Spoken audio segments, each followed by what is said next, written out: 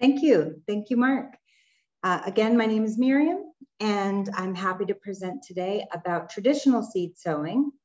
Um, I am a member of our Wild Child um, network of organizations of organic and sustainable gardening um, companies. And I am a member of Plant It Further, which is an organization that helps to teach about natives. But today we're not talking about natives, we're gonna be talking about seeds and how to start seeds. So um, without any uh, further ado, I'm going to get started.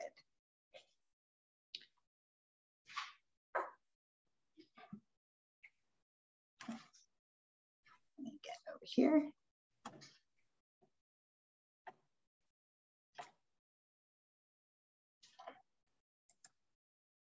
There we go. So why do we garden? We garden to have a space with attractive foliage for structure and for produce to interact with. We garden to obtain food or flowers grown in conditions controlled from start to finish by us. We connect with our roots. Many of our ancestors were farmers or gardeners before us.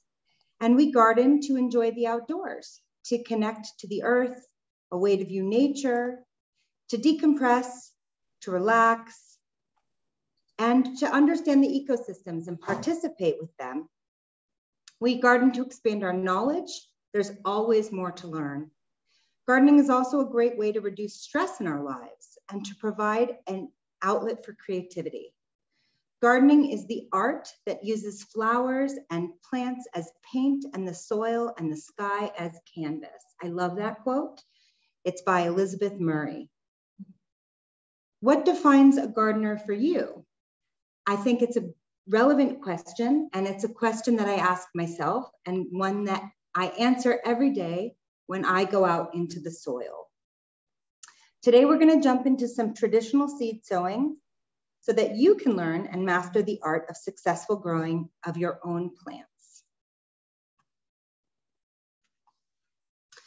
As you can see, there are many ways to start seeds. Nature starts seeds via wind, dispersal, animals and birds spread seeds through their droppings after consuming fruits or seed heads of flowering plants. Winter sowing is a new and exciting method that mimics nature by creating mini greenhouses outdoors and avoids some of the challenges that we face of seed starting indoors. And we'll get into that in a minute, but that is for another class. And it is a very fun way to learn, but it's something we do in the middle of the winter. Traditional seed starting is an advanced gardener skill. So even if you're a beginner, it is something that takes practice and takes work. If you haven't tried this yet, or if you have, there may be some bumps and trials along the way. So welcome to the Gardeners Adventurers Club. Perhaps you've suffered with the best of us to nurture your seedlings to grow and survive with this method. I'm here to let you know you are not alone. Even those master gardeners and professional nursery bosses amongst us admit that this is tricky and delicate business. I'm here to teach you how it's done and help you with some tips and tricks to understand this method and overcome the frustration it includes as best as I can. So what do plants need? I like this fun little acronym that I found, and it's very useful to remember with our gardens, especially when starting seeds. What do plants need? All plants thrive with correct placement and wither with poor placement. All plants thrive with the right amount of moisture. The wrong amount and it may drown or dehydrate. All plants thrive with the correct amount of air for respiration. This happens on the underside of the leaves and actually at the roots. Roots do need air as roots absorb oxygen primarily through root hairs for cellular and overall metabolism.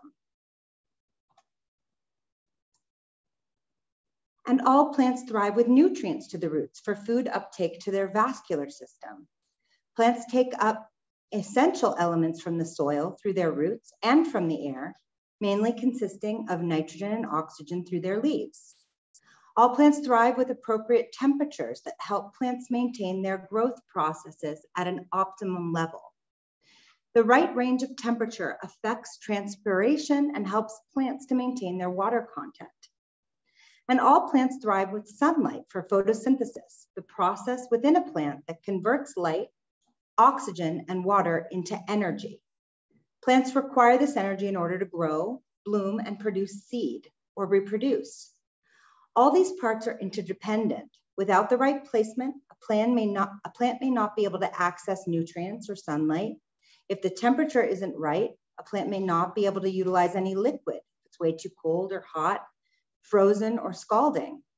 If a plant is placed too closely, it may not have good air circulation around the stems or roots and may be crowded or too crowded to access light or nutrients. And coincidentally, Let's look at this list again. What do all of these things plant needs remind you of? Well, they're all things that humans need too. And all organisms need these things, showing that we're all very much alike and we're all part of the same fundamental ecosystem.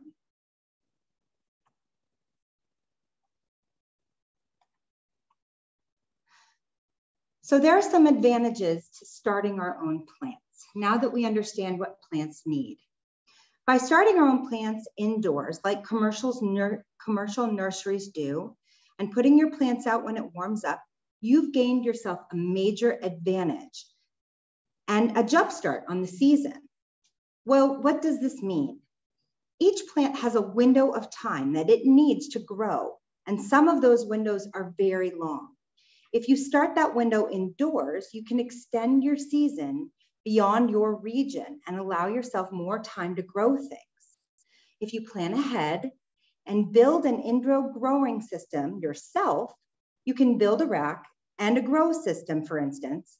It's going to pay off in the returns you get by being able to start your own plants, which is significantly less expensive than buying seedlings at a nursery. Creating your own indoor seed starting station, you can have a major return on your investment if you use your station year after year. Also, this savings extends to getting a jump start on fall plantings, growing indoor plants, and microgreens too, all of which can be done with your indoor seed starting system. When you want to grow anything or eat anything that isn't native to your zone, you have to consider how long it takes that seed from sprouting all the way to maturity in the place where it originates from. You don't have to be an expert. All this information tends to be on a seed packet, and you can use it as your guide. It will tell you exactly how many days from germination to maturity.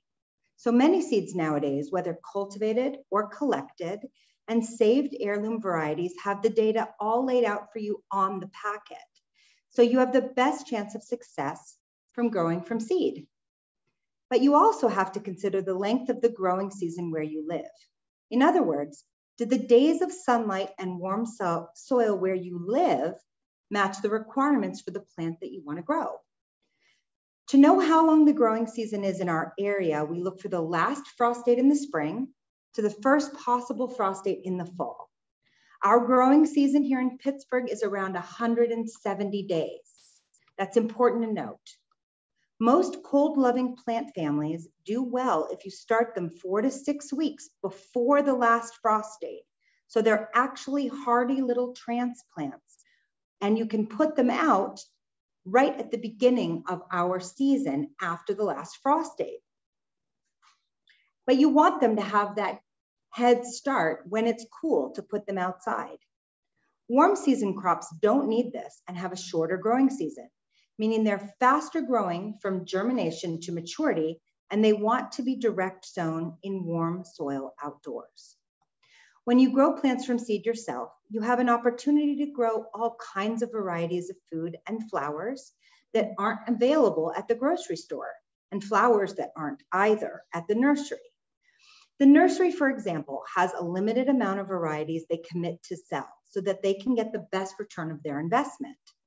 If they had even a portion of the unusual or varied kinds of cucumbers and tomatoes that exist, they would not actually be able to sell them all and they would probably lose money. So they limit their saleable options. The same goes for industrial grocery stores. There are only really one or two kinds of eggplants or celery at the grocery stores.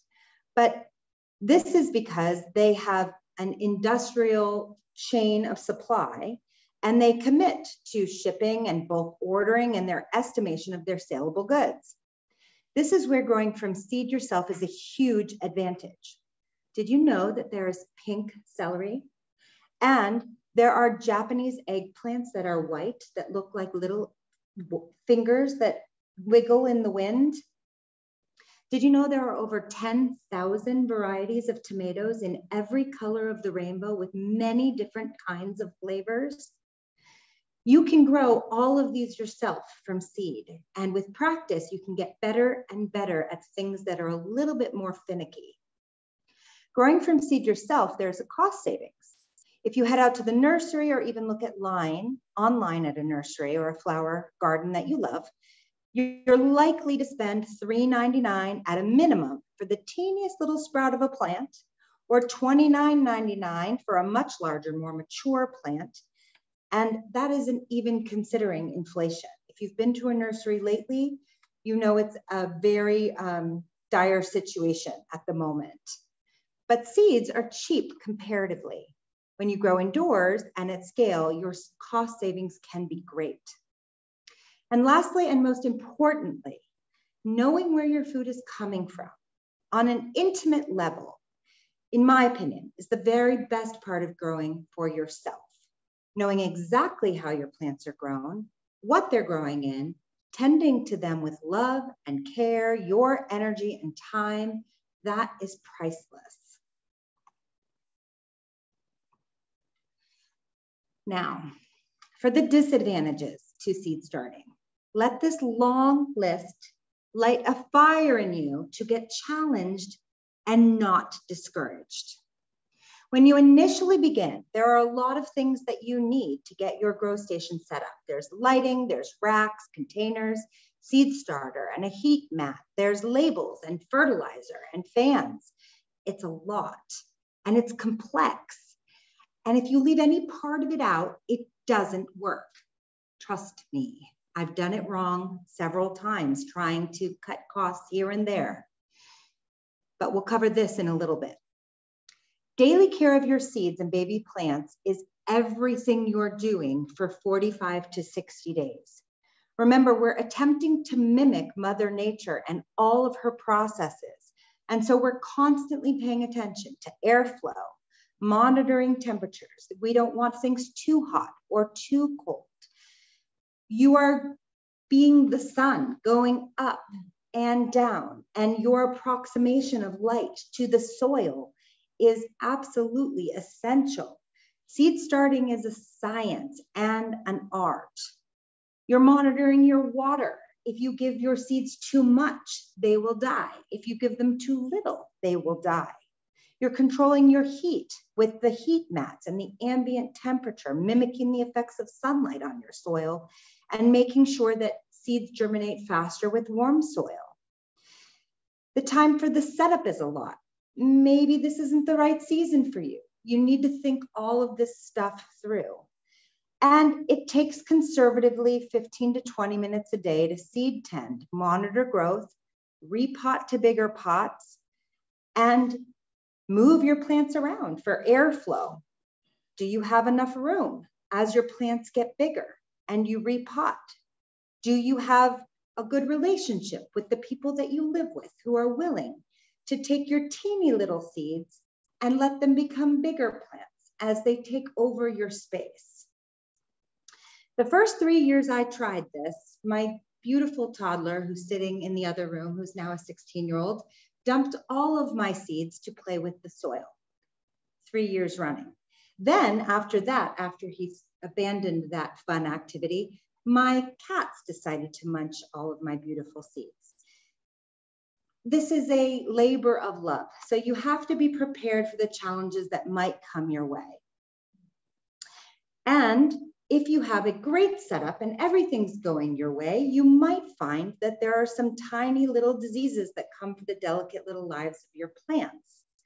There are some um, soil-borne fungal diseases that like the damp conditions that come with a seed starting setup.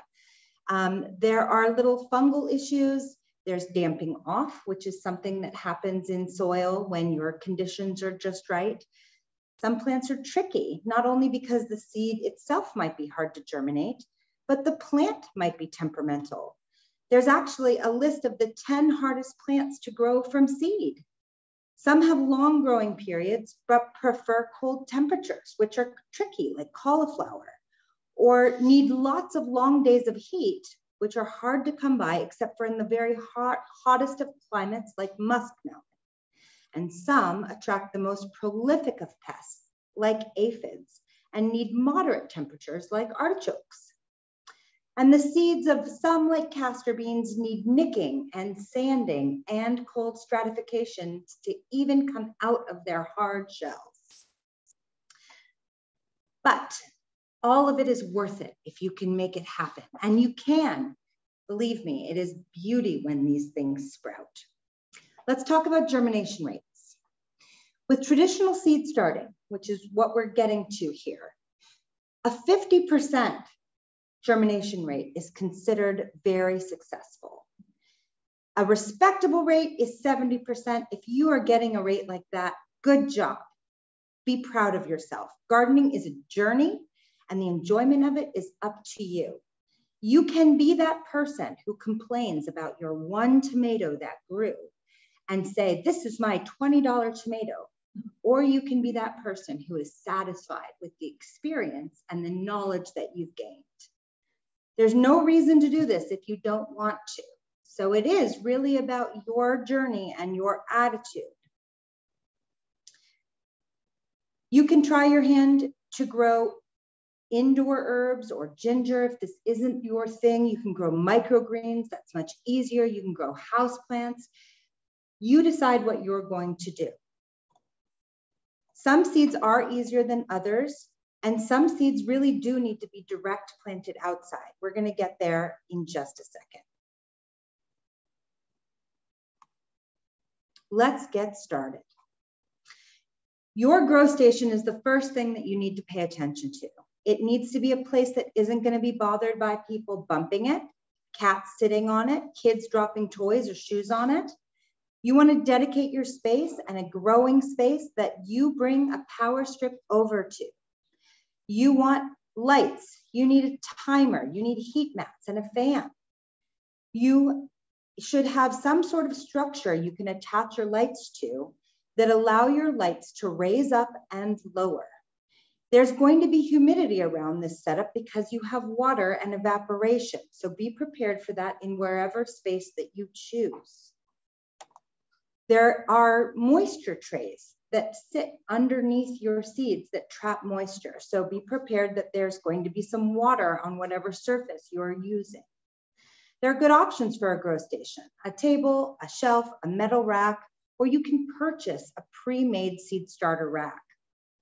Other items you're going to need, seed starter containers or trays. I have some here on the table and you'll see some in my slides in a minute water trays for the containers to sit on. These ones don't have drainage holes. These are the ones you're gonna be watering into that your, drain, your plants drink from. Humidity lids to trap humidity on the top, a timer, a fan, a power strip. Whatever container you start with, make sure that you're planting into something with excellent drainage. This is a big mistake a lot of people make, whether they're doing container gardens or they're planting seeds. If you don't have excellent drainage, you're going to have problems. Drainage is the key. You can start seeds in anything as long as it has that ability to hold your seed starter medium, your seeds, and it drains well. You can start in larger pots too. Remember, you're going to have to transplant into a bigger pot as your roots grow so that you can hold your root system and your seed starter. If you do start in a bigger pot though, you might be worried about your little tiny sprout as it's growing. So some people enjoy a much smaller seed starter and then moving it into bigger containers so they can tend to it as it gets larger. Also, you can forego your seed cell trays and directly plant into the moisture tray on the bottom. That is the flat container with no holes at all. That's kind of like um, planting into a brownie tray, right? And then you can cut your seeds out directly. Um, I like to do that. I plant in winter sow like that, but you do have to be very careful about moisture because you don't have any way for your seeds to evaporate or to drink up any extra moisture that way, okay? It is easier to monitor your individual cells for diseases or problems or lack of germination. So the seed cells are very, very popular. And actually, some companies sell teeny tiny little um, peat cells or coir cells that you can plant a seed in. So it's an individual little cell and you can put those in your moisture tray and they will puff up and your seed goes in there and you can watch it individually and then plant that out when it's time to go. The humidity domes are something that you can choose to have or not have. Some people don't like them and they use a wet kitchen cloth on top of their soil. And then as their sprouts come up, they remove it. So that's an option as well. Remember, your seedlings will eventually need to be repotted. So be prepared for that. The first leaves do appear, and that is when you're going to need to repot and feed your seedlings. We'll get there in a second. Some great veggies to start in trays. Celery, eggplant, collards, kale, broccoli, kohlrabi, leeks, onions, peppers, scallions, and tomatoes. All of those things do really well when you're growing them inside on a rack. Let's talk about our seed starter. You do not want to start seeds in potting mix or soil from your garden or compost. Does anyone know why? Okay. Your seeds have the teeniest, tiniest hair-like roots when they come out of their shells and start to germinate. And they need the finest of materials to come down into. And soil is just too dense. And if you're getting it from your garden, you have no idea what you're really dealing with unless you are a superstar of a gardener and you have the finest of soil. Even then, that soil is too dense. So we recommend, we being gardeners who start lots and lots of seeds, using a soilless seed starting mix. This one is mine. I use this and I have wonderful germination rates with my indoor racks and with winter sowing. I love this mix. This works great. This is very similar to Mel's mix, which is used in square foot gardening, which is a similar style of gardening. And it is a fantastic light and fluffy mix that allows little tiny roots to get down into the mix and start perfectly. Seed starting mix is a soilless medium used for growing plants from seed.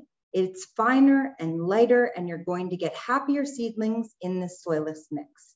I like to add worm castings to your soil mix because it aerates and it improves overall structure while providing beneficial nutrients as the plants start to develop their first sets of leaves.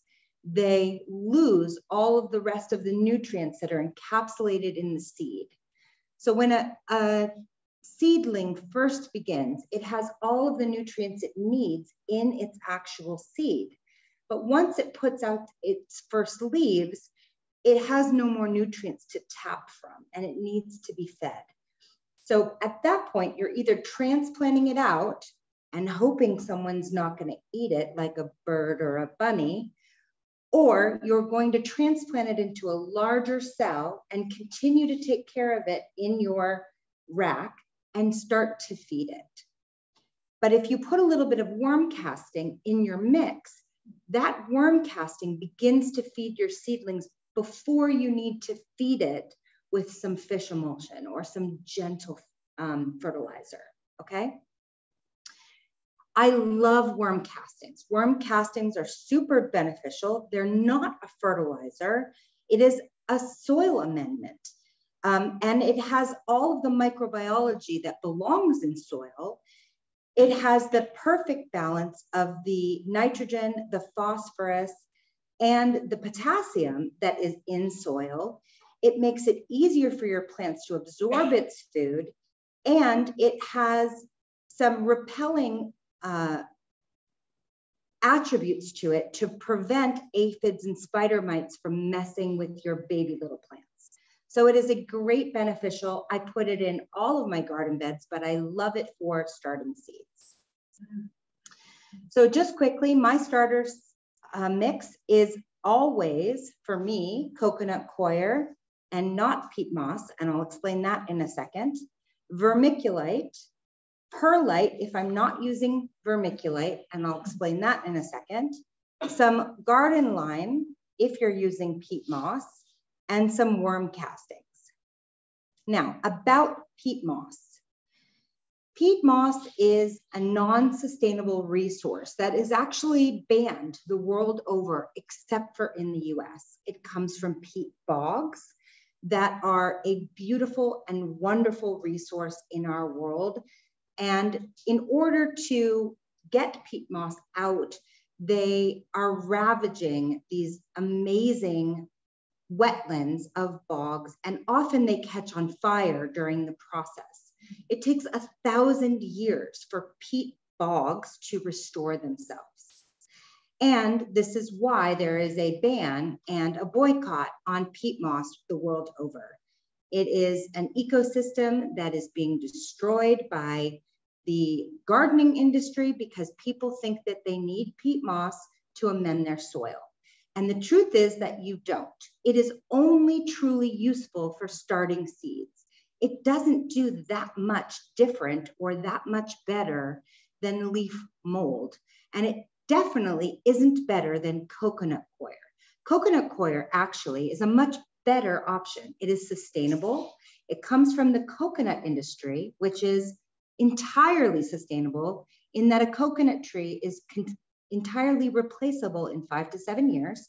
And coconut coir, which is the stuff on the outside of the coconuts, can be added to your soil and stays in your soil to help retain moisture and give humus to your soil, which is what peat moss has been used for. And it stays in there for three years, as opposed to peat moss, which decomposes within a year or a season. So it's a much, much better option. It's sustainable and it's replacing peat moss everywhere in the world as a garden option. So I recommend coconut coir. A lot of our soil bags and our seed starter bags that you would find in the nursery still have peat moss in them, which is why it's in my recipe. Because if you happen to buy a bag of seed starter, you're going to see peat moss in it but I recommend avoiding it at all costs because we don't want to destroy our planet, right? Right. right. Okay. Here's some other supplies that you're going to need to get started. Your seeds. You want to gather all your seed packets together. That's your information. And you don't mm-hmm. want to go willy nilly with this. If you throw seeds in containers and you don't mark them and you don't know what you're doing, you're going to get lost, you're going to get overwhelmed, suddenly you're going to be growing things and not know where they go or know how big they're going to get. And you're going to be planting things and have a crazy garden and things are going to get a little scary on you. Okay. You want to have a notebook, keep track of what you're doing. Gardeners are scientists and we're explorers and we're figuring out things and we're sharing our knowledge with others. And the best thing is when you're taking good care of your garden, you're taking good care of yourself, mm-hmm. your plants are happy and they're dividing and you can share with others and you make new friends. It's a great experience. You want labels. You want labels and labels where the marks on your labels don't wear off. Now, this is tricky and a lot of people's labels wear off, but I have found the answer. You want to get a China marker. These China markers are made out of this waxy material and they don't wear off. They don't come off in water. They don't come off in humidity. You can stick them out in the garden and a rainstorm and a thunderstorm will come and it will still say bachelor's buttons on your marker. They're wonderful. I have some there on the table. I have some here in my picture. They're fabulous and absolutely worth the expense. They're not even expensive, but it's worth having a whole bunch of them and using plastic cut up blinds and making markers for your seeds and keeping them on your rack so that you know what you're doing. You want some gloves if you feel inclined. If you're dealing with soil and you don't know where it's coming from and it's not organic, please use gloves. Save your body from chemicals. And I like to use a large mixing bowl. I have one here for mixing up my seed starter and making sure it's nice and well mixed before I put it in my containers and before I plant. When you are mixing, especially if you're using coconut coir, you want to mix that up with a lot of water before you put it in your containers because it will rehydrate and you need to do that before you put it in the containers. If you try to put it in the containers dry and then water it, it will shrink by half and you will go, where did it go? Oh no, where did it go? So definitely mix it in a, a container before you put it into your seed cells. Let's talk a little bit about lighting. Dedicated grow lights are necessary to produce quality plants from seed. One of the biggest mistakes is not providing adequate lighting, resulting in weak and scrawny seedlings. Lights need to be on for 14 hours a day on a timer, one to two inches above your soil. And they need to get raised up as your seedlings grow. So this is what I'm talking about, about a committed experience of checking on your seeds, raising up your lights and making sure that they are not getting burnt and that they have space to grow. Whatever kind of setup you choose, make sure your lights can move up and down. Racks are wonderful for this. So you can attach your lighting on chains and raise them up or clip lights that have flexible and bendable necks. I happen to have clip lights with bendable necks. That's what I like for my house. So I can move them up and down. They're easy.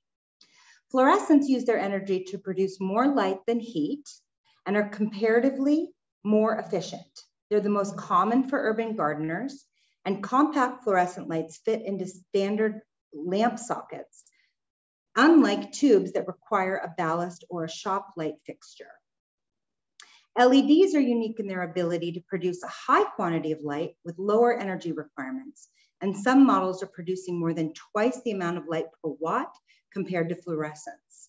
Some LED systems are designed to improve efficiency by delivering red and blue spectrums of light exclusively, and that's why some give off a purple glow, mine do. But you don't need that. Neutral white colored LEDs for home lighting will also work for seed starting. And you can buy LED tube lights that fit in your shop light ballast and require less energy than fluorescents.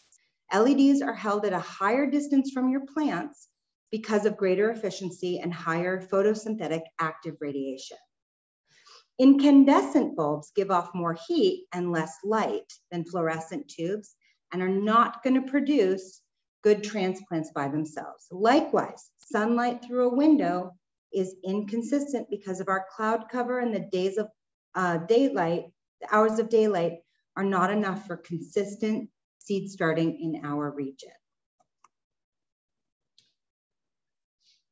Okay, heat mats are an added feature of your indoor seed starting rack that help to germinate your seeds more quickly and consistently. This is an essential part of your setup.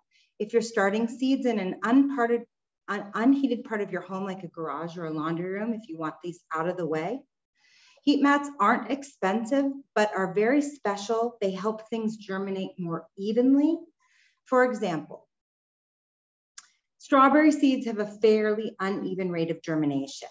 If 20 seeds are planted, two might come up in the first week, some a week later, and the rest after a month or longer. They're very, very uneven. But if you put a heat mat underneath them, germination is far more even with most of the seeds woken up from dormancy after about 10 days. So that's wonderful. Then they're awake, you move the heat mat to the next set of seeds. So it's pretty efficient. If you choose to forego a heat mat, keep your seed trays in a warm location of your house, a tall shelf where heat rises next to a sunny window for heat, but not for sunlight, and nowhere that is drafty. Drafts are not good for plants, excuse me, especially little tiny seedlings.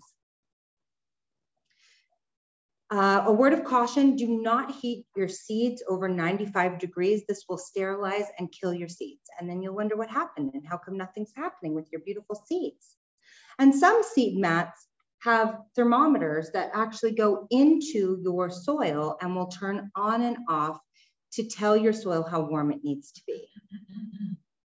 Humidity domes placed over your seedling trays will help trap in moisture and help your uh, seeds germinate faster as well.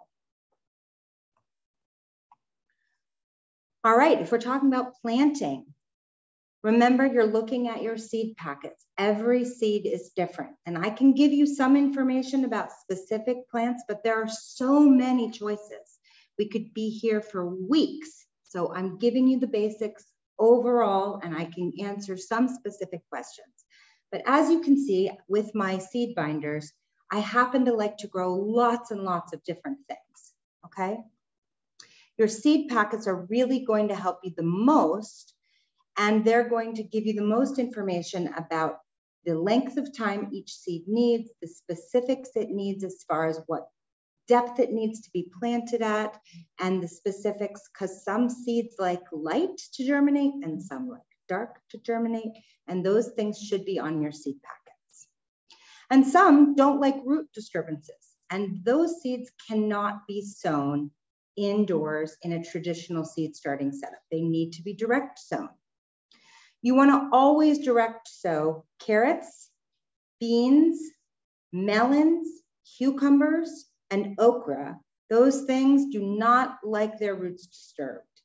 Some nurseries will put those out for you, but chances are you'll lose some of them because they really don't like to be messed with at all.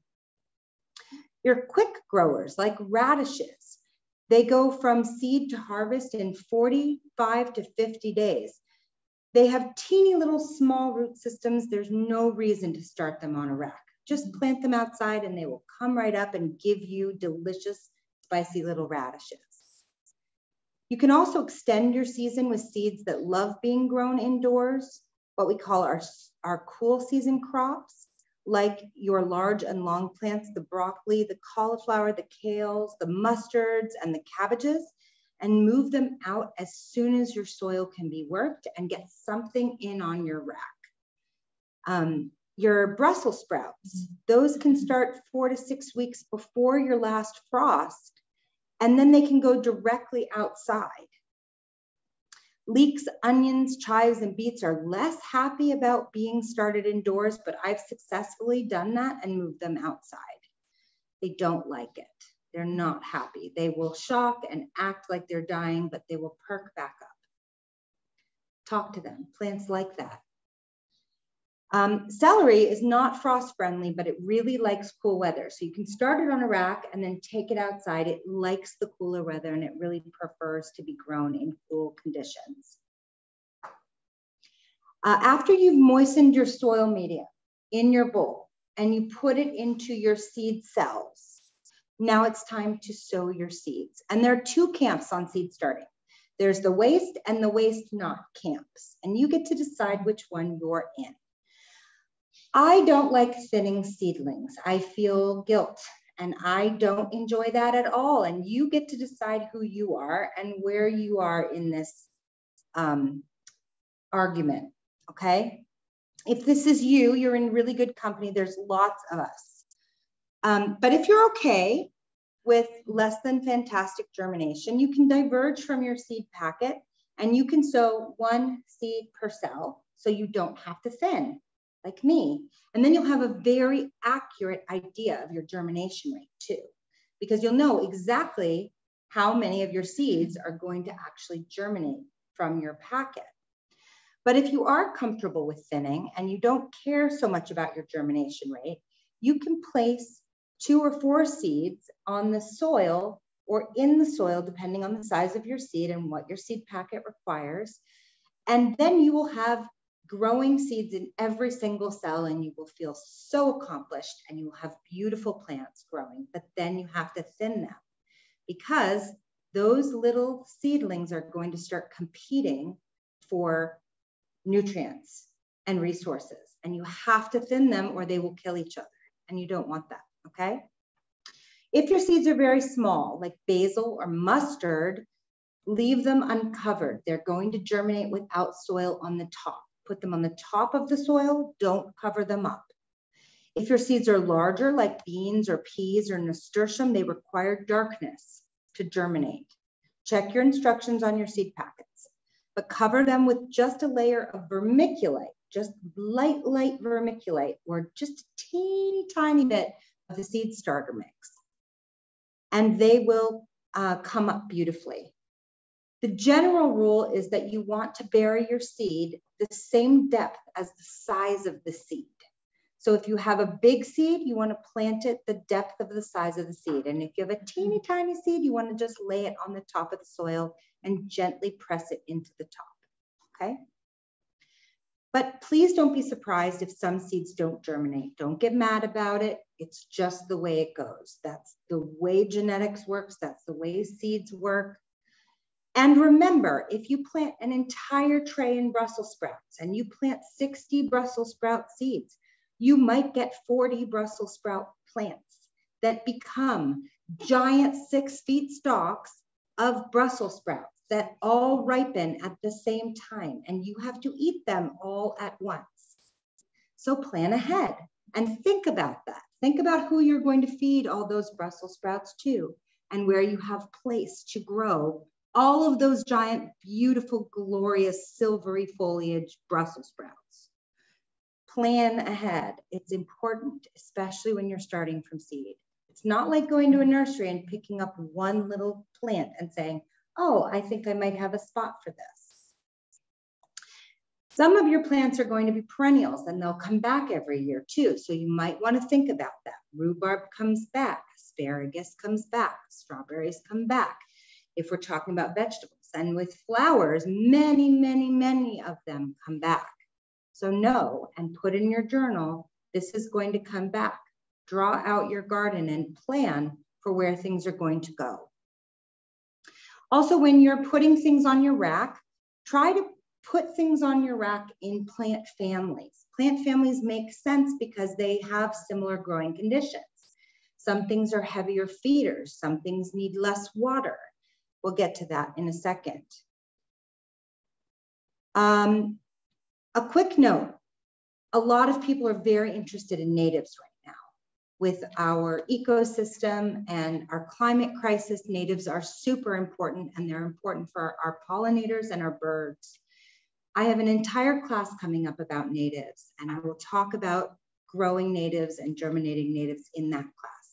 There are some tips and tricks for natives and they're a little bit different.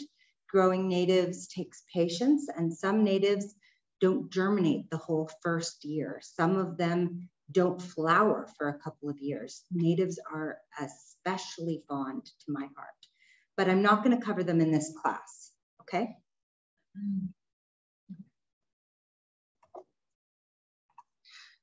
This chart is all about our plant families.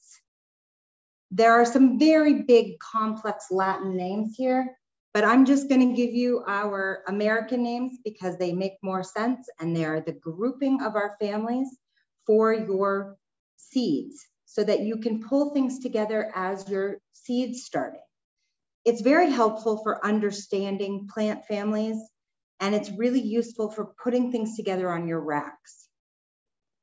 For instance, um, garlic and onions and chives, asparagus and shallots, those are all one family. Put them together on your rack. Look at your seed packets. They all require very similar watering conditions. Um, carrots. Carrots are very similar to um, the other roots, but they also have similarities with um, sweet cicely and some other flowers. So put them together on your racks. They have similarities with dill. They're the same family and cilantro and parsley and fennel. Um, arugula and broccoli, cabbage, cauliflower, kale, and kohlrabi, kohlrabi are all uh, brassicas, and they all grow similarly. They also have all the same pests. So making sure that you grow them similarly on your racks and making sure they have the same light and the same food is important. Okay. Germination is a process a plant or seed or a spore has to go through to produce a living, growing, or breathing seedling. It's much like a revival of metabolic systems after a period of dormancy. Do you remember what plants need? They need placement, liquid, air, nutrients, temperature, and sunlight. Some seeds are really fussy about perfect light conditions when germinating. We mentioned this already. Some plants like asparagus, beans, beets, and carrots opt for dark and humid germination experiences, while broccoli, cauliflower, peppers need just a tiny fraction of light, so they want less to sprout. Some perennials and epiphytes like ferns and orchids and some grasses need a sprinkling of soil to come up, and some need solid light, like coleus and begonia and primula and petunia. They need to be in bright, bright light with no soil on them at all to come up. Uh, calendula and alliums are actually inhibited by light and need to be fully, fully covered. So every seed is different, every family is different. That's why you need to look at your seed packets and do your research, okay? You know your plants are ready for some nutrients when you see their true leaves starting to appear. Those first true sets of leaves are called, they're cotyledons, and their first true leaves are the second sets of leaves. You see here, the very first leaves you see that come up right here, they don't count. Those are the baby leaves. The first true leaves look different and those are the ones you're looking for. When those come up, your seeds begin to get hungry. So you want to give them a boost. You want to give them some food. Ideally, your food is going to contain some trace nutrients and some minerals, some other organic components like humic acid, but it can't find that in a seed starter mix, right? And we want seed starter mix so we have nice little root systems. My favorite thing to feed our seedlings are a seaweed or a fish immer immersion uh, fertilizer. Uh, excuse me, emulsion. I'm stumbling over my words, excuse me. But I like to put it in a very diluted form so that I'm not hurting my plants or overfeeding them. So I usually do a one-fourth solution of fish fertilizer to water and I gradually increase the concentration as the plants get larger, but I keep it at one fourth um, for quite a while until those plants are ready to go outside. Fertilizer has three different nutrients. I mentioned this before um, that are in fertilizers and they don't usually cover all the micronutrients. That's where the worm castings come in to help. But the main nutrients are the nitrogen, the phosphorus, and the potassium. Nitrogen helps with development of leaves and uh, production of chlorophyll, which is responsible for the green color in the leaves. Phosphorus helps develop roots and produces flowers and fruits. And potassium also helps with roots and develops strong stems. All really, really important. Herbs are always an area of interest. Everyone wants to learn about herbs and how to grow them successfully. I'm gonna jump in here and say most herbs are really easy to grow from seed.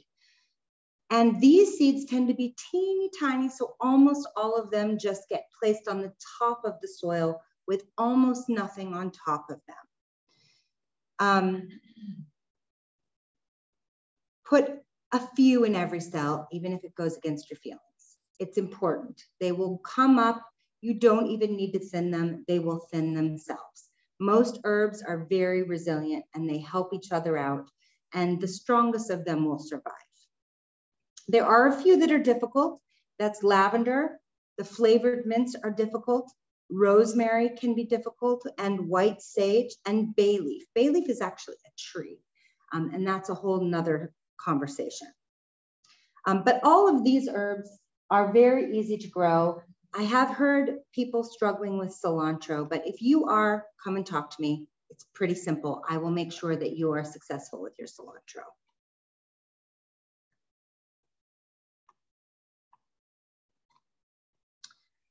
All right, here are the mistakes that we want to avoid. In order to get your timing right, the very first thing you need to know is your average last frost date.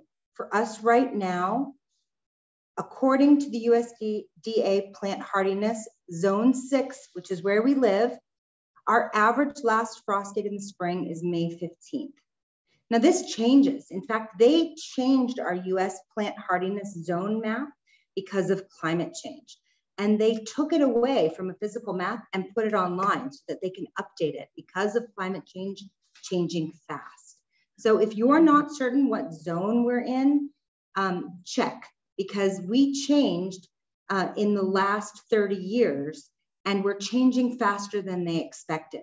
So you can always go online to see what's happening. In fact, they had to add three different zones in the last 30 years, which they did not expect to have to do which is a little bit alarming, but we're here to solve the climate crisis by fixing the soil and teaching people about the climate, right? We're doing this. Um, if you start butternut squash seeds at the end of summer, you're not gonna get any squash. You're gonna get some pretty plants, but you're not gonna get any squash. They do need warm soil to germinate and they can be really finicky about root disturbance. So if you plant them in the summer, you're doing the right thing, but you have to remember these guys take 110 days to germinate and mature.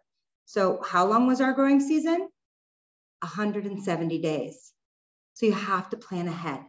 You have to make sure you plant them with enough time that they have that 110 days from germination to maturity if you want butternut squash.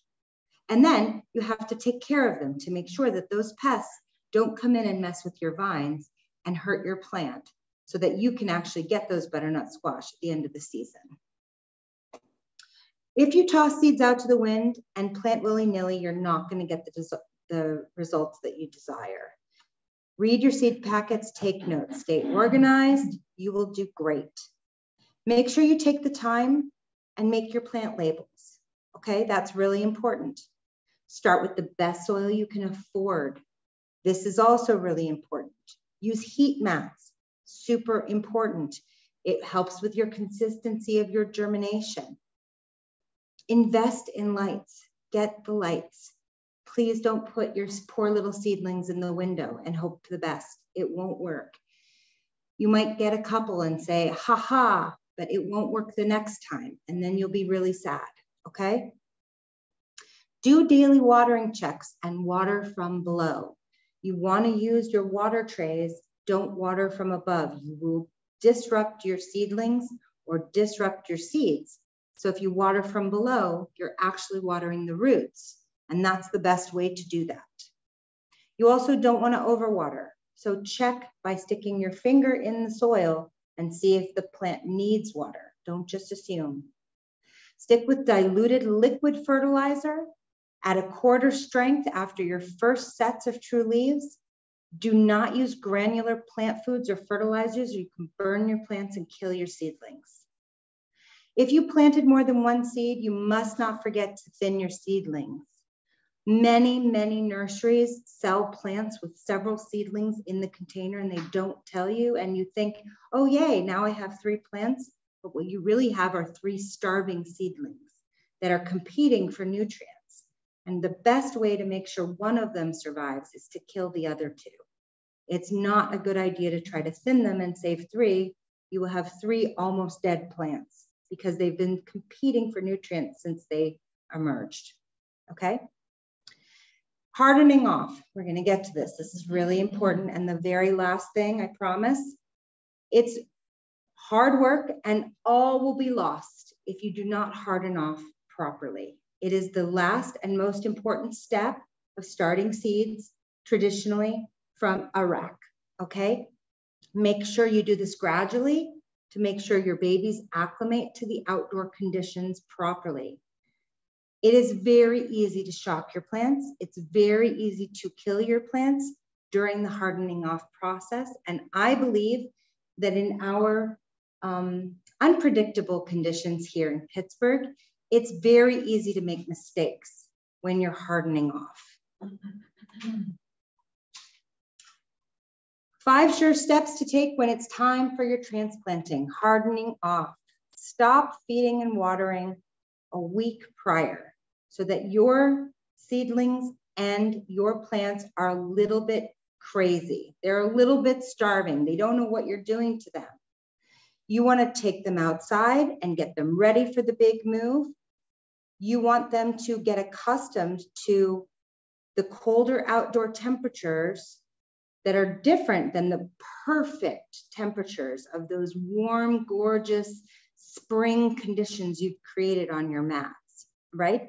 You want to take them outside and you want to put them in a place where it is overcast and cool, but not hot and blazing. You'll burn them and kill them. And you want to do this for small amounts of time and gradually increase. You want to put them in a place where they can have some coverage from wind because wind will shock them and also cover from torrential downpours that will shock them.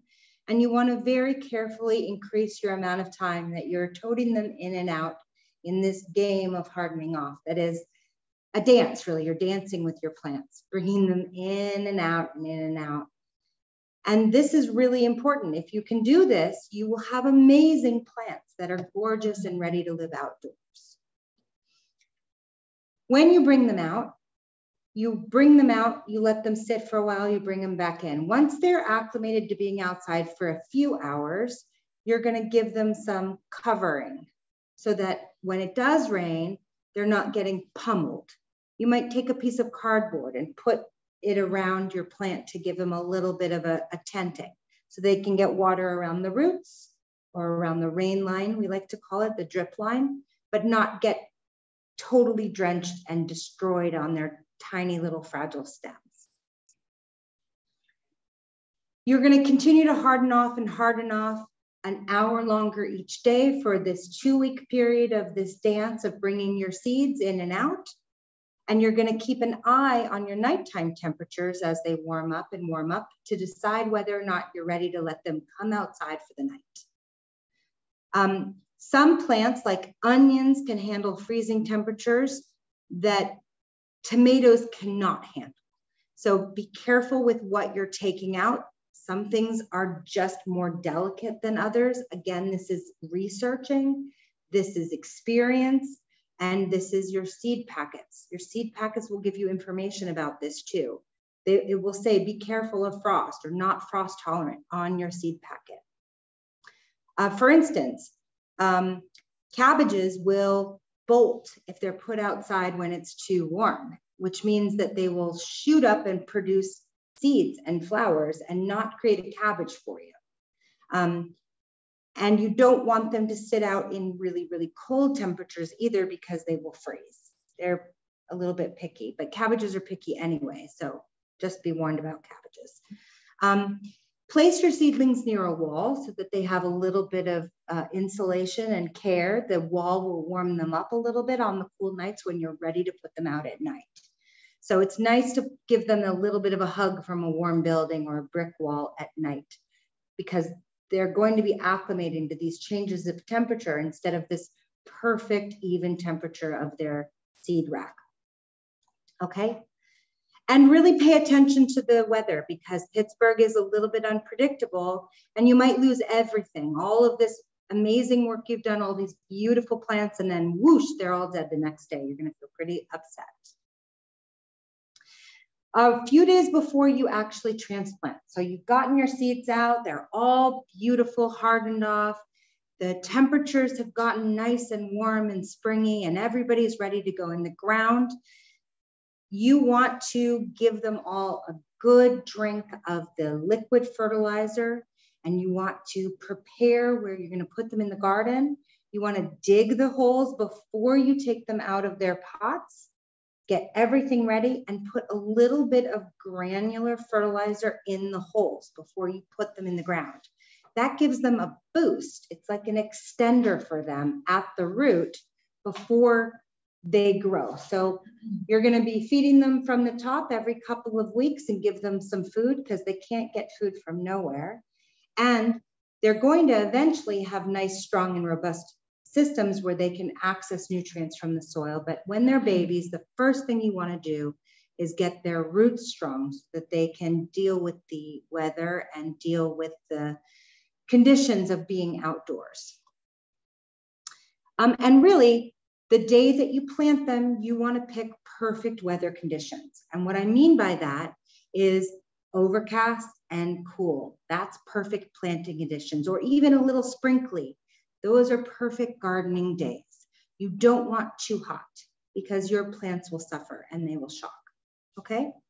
And just handle them very carefully. These are your babies. When you take them out of the container, don't rough them up, don't yank on them, don't rip your roots. Be gentle and careful and talk to them.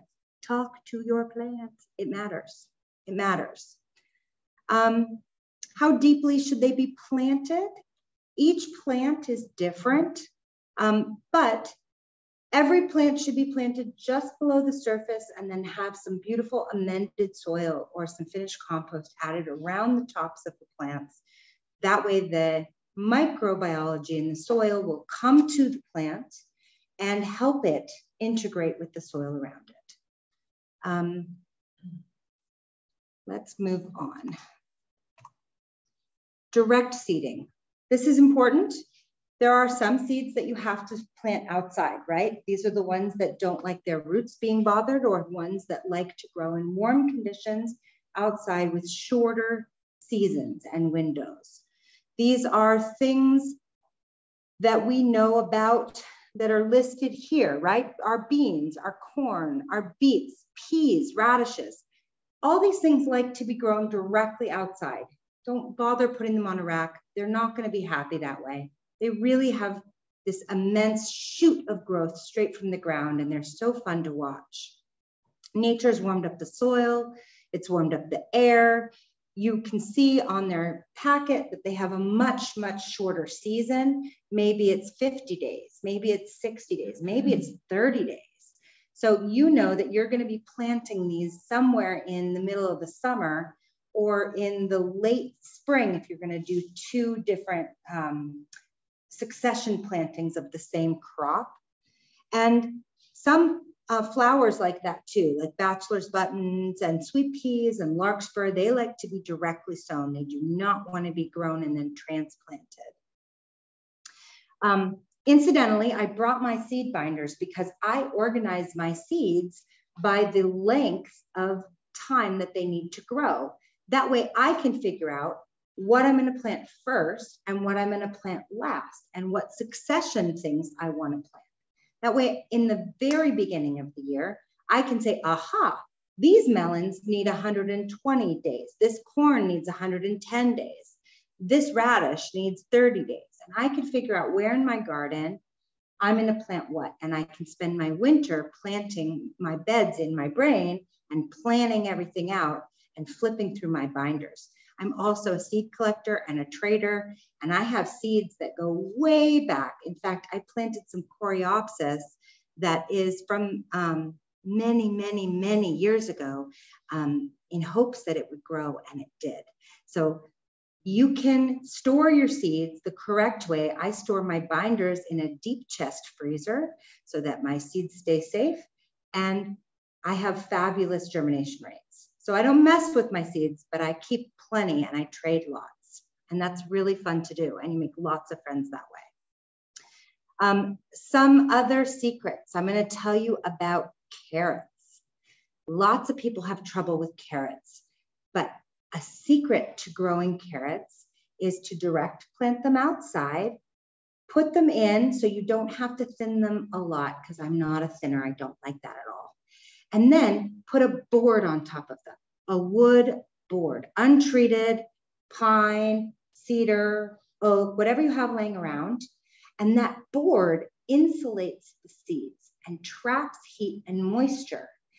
All you have to do is lift up the board and check under it for the first week or so. And once those seeds begin to pop, you lift up the board. And voila, you've created a seed starting system for your carrots. Nobody's coming to pull your seeds out of the ground. No birds are eating your seeds. No rabbits are coming to bother your carrots. And the board has helped your seeds to stay warm and safe. And if your soil is nice and light and friable and doesn't have rocks in it, you'll get really nice straight carrots. So that's a little carrot secret from me to you. Okay. So today I've really shared with you the joys and challenges of traditional seed starting in our gardens. I hope that I can appeal to you to consider this do no evil approach to gardening. This is my littlest daughter in one of the gardens in Connecticut that we were growing. Uh, it's really important to me as we embrace in our industry and hobby gardeners and enthusiasts sustainability in gardening for today and for the next 20 or 30 years to try to help save our planet. We are in, attempting to enhance our soil, to capture carbon, and to teach people, and as many people as we can, about eco-friendly practices, sustainable and organic gardening. I hope that I was able to teach you some things today that were helpful and educational. I hope you are able to make some educated decisions about what you can buy and make some responsible and sustainable choices. Um, in our next class in this series, which is happening in August, the second part of this class, I teach about companion planting. I teach about square foot gardening. And I teach about some other more advanced seed starting techniques. And I think it's very useful to learn that side of it as well, even if you're a beginner, um, because there's a lot of wonderful organic methods that you can use with some secrets thrown in that I can help you uh, have to make your garden a really wonderful and joyful place. I have some reference slides with some information if you're interested. Today we did cover indoor seed starting and direct seed starting. Here you'll see, oh, we also are covering food forests, which I'm very excited about. Permaculture is a, an emerging field where we're helping to sequester carbon, but also recreate natural ecosystems and food systems all together. So we're gonna be covering that in August. I also have a couple other classes I'm gonna be teaching here in uh, June and July, and those flyers are here and they're up on the internet if you're watching us on Zoom. Does anyone have any questions? On Zoom or in person? I'd be happy to answer any. Sources for things. I can't the find the core um, coconut coir. Okay, you can find coconut coir online. You can also find it at many specialist nurseries. Um, I happened to get mine at Costco this year. Um, they did have it at the beginning of the season, but all the gardening stuff gets swiped up really fast. I filled up the whole back of my car the day I found it um, because it was a great price and because I really love coconut coir. But you can find it on Amazon. Um, just look up coconut coir. It's sold in bricks and they're not heavy weight, but when you unwrap a brick, you have to uh, hydrate it. You have to fill it up with water and it expands to three times its size because it's been compressed. But it is an absolutely valuable resource and it's absolutely worth putting into your beds because it's humus, it's wonderful organic matter that your garden will thank you for. Anything else? Too many, yeah. There's a lot of information. But you know, anything you think of, I'll try to answer for you. Um, I, I have a question. I'm online. And um, can you hear me okay? I can hear you. Yeah, okay, great. So you covered a lot of great information and I really appreciate it. Um, one thing I was wondering if you could just review quickly and um, this pertains to me starting just not very many, but some um, flower seeds. And so I have my little seedlings and they're tiny. And, and, and I have a couple in there that are competing. And you had said that you really have to separate those as soon as possible, right? Because they're competing for nutrients. Is, is that what you said? Yeah, you have to kill them. When you're starting seeds and you're thinning, mm-hmm. the only way, um, yeah, the only way to make sure the ones that you keep stay alive is to thin.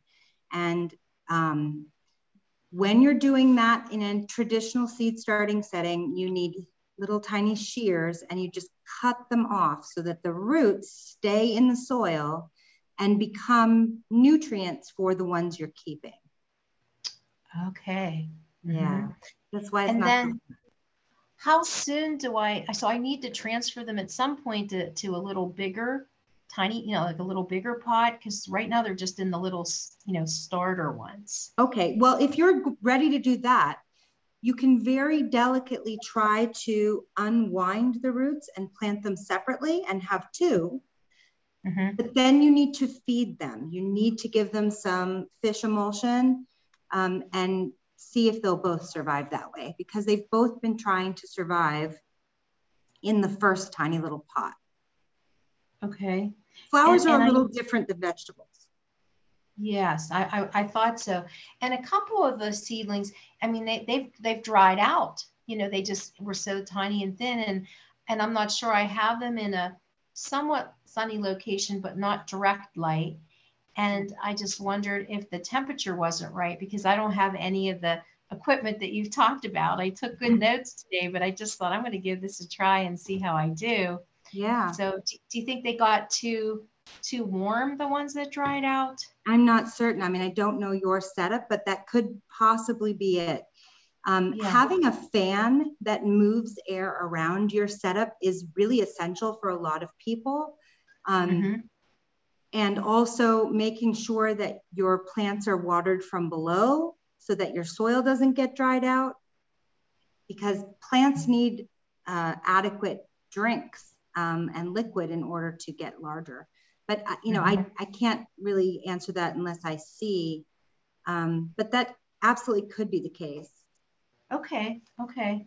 All right. And I took some notes about what you said about hardening off and all of that. And I guess is that pretty, you know, pretty much the same for flower seeds yes. as well yes, as because all of those things will shock if you just put them outside. And actually, that goes for nursery plants too although it's mm-hmm. not as drastic when you get plants from the nursery because mm-hmm. those have already been moved outside most yes. of the time. But you still need to be careful. You'll notice if you buy plants from the nursery and you put them in the ground right away, often they'll shock.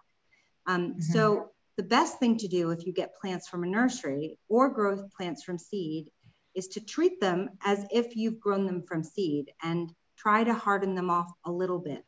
Give them the delicate treatment for a day or two and bring them in and out a little bit and get them used to your little microclimate and the area that you want to plant them in so that they have the best chance of success. Okay. All right. Thank you so much. This was You're really great and I really appreciate it. You're welcome. Anyone else? Maybe one last question? Miriam, there's another question in the chat. Sure. Um, can you see it? Or do you want me to read it? Uh, should you direct sow companion plants at the same time? Is that the question? Mm-hmm.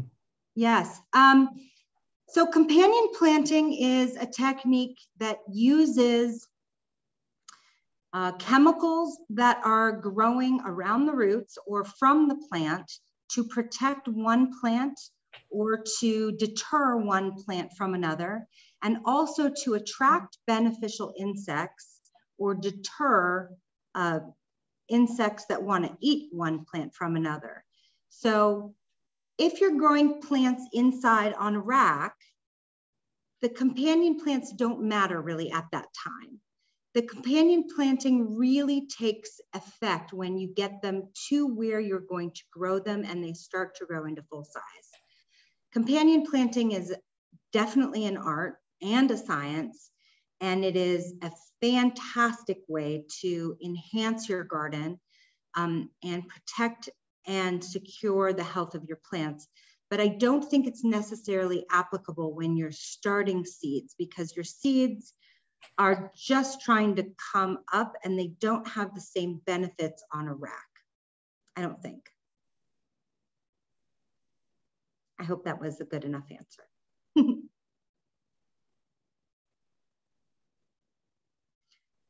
I think that might be it, Mark. Um, I think so. Are there any other questions? I don't see any more in the chat. Nope, I think that's it here too.